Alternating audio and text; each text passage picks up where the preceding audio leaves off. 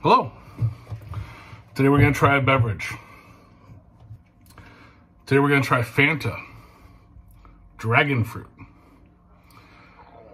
Zero sugar. It's a new flavor. It's 100% natural flavors. Um, I tried Fanta for what I think is the first time. Um, I think it was last week. Pina colada. Uh, it was good. Wasn't entirely what I was hoping for.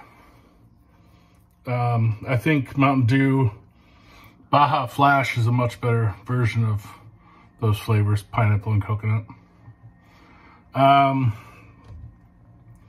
dragon fruit. I had, um, oh gosh, what's it been? Probably 10, 11 years ago. Pepsi X. Um, and that was, uh, it was dragon fruit flavor. It was a dragon fruit Pepsi. Really good. Bought as much of that as I could find. Love that soda. Uh, so don't know much about Fanta and did not know that they offer zero sugar. It's uh, definitely getting popular, that option. I've read, there's some marketing behind it, that uh, one of the reasons they created zero sugar drinks is because they found that men were averse to purchasing diet beverages because they thought the term diet was too feminine. So they created zero sugar, which is kind of like gender neutral, I guess you'd say, and also very much appeals to diabetics. Zero sugar. Still not exactly healthy, but you know, and people people truly love and enjoy straight up diet. So it's never going away. I mean, there's people that drink Diet Coke specifically for that flavor and that that uh, balance of ingredients. It's my understanding that diet and zero sugar are both non-sugar. They just differ in which artificial sugar they use. Like some use sucralose, some use aspartame. So it's six half dozen the other. But there's a slight difference because of the type of artificial sweetener. So it's enough that there's there's always going to be diet drinkers, and then there's still going to be you know zero sugar drinkers. Diet's not going away. All right, that's not why you tuned in. We're here to drink this Fanta Zero Sugar Dragon Fruit. Enough rambling, let's get to it. And here comes the pour.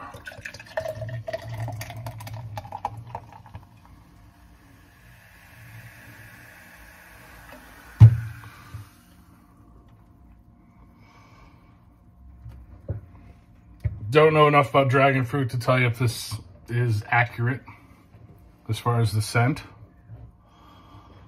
It's not unappealing. It smells okay.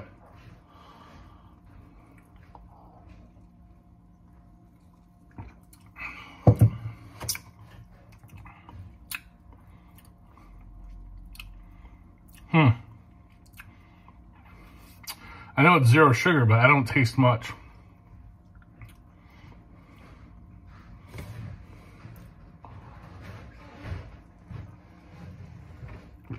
Mm.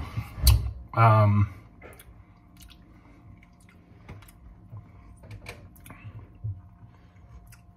boy, that's dull, whatever that is. I'm out for two on Fanta right now. I'm not really picking up what they're putting down. Um, hmm.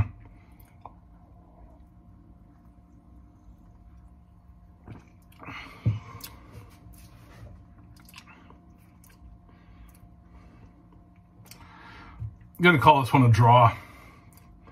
It's not good enough to recommend. It's not bad enough to not recommend. It's just, it's just kind of there. You know, it's like air. It's just there. So, kind of a cliffhanger. kind of an unfulfilling ending. That's the way it goes sometimes. Um, let me know what I'm missing out on though. You know, if this is if this is your drink of choice, let me know what you love about it. Um, curious to know uh, if you're a regular fan Fanta drinker, what flavor is your favorite? What do you think I should try? Um, thanks for watching. Thank you um, for subscribing if you subscribe. Uh, like the video. Uh, share it with a friend or enemy. We'll see you next time.